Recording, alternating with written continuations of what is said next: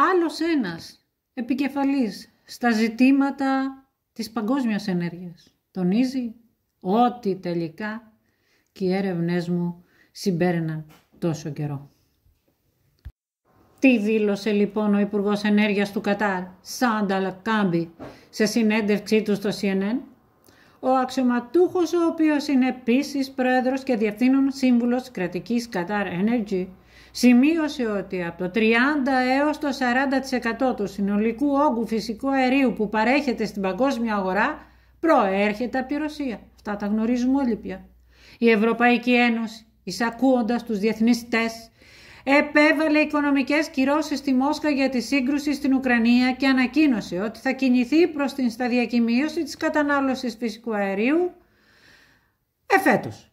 Πάνω από το 40% των εισαγωγών φυσικού αερίου της Ευρωπαϊκής Ένωσης προέρχεται από τη Ρωσία και αυτό το γνωρίζουμε. Ωστόσο, ο Αλκάμπη είπε ότι το Κατάρ δεν θα επιβάλλει κυρώσεις στον ρωσικό τομέα πετρελαίου και φυσικού αερίου, τονίζοντας ότι η ενέργεια πρέπει να μείνει μακριά από την πολιτική.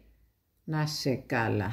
Σύμφωνα με τον Υπουργό, το Κατάρ δεν θα πάρει μέρος στην κρίση της Ουκρανίας. Σε αντίθεση με την Ευρώπη και την Ελλάδα, να το τονίσουμε βεβαίως βεβαίως, οι οποίες σκοπίμως απομακρύνονται από το ρωσικό φυσικό αέριο προκειμένου να φέρουν παντού την πράσινη ενέργεια, η οποία θα φτάνει μόνο γιατί θα επιλύει τα βασικά. Ούτε αυτό διαφαίνεται. Άρα έχει δρομολογηθεί η απίθμενη φτώχεια, όπως σας τόνιζα τόσο καιρό τώρα.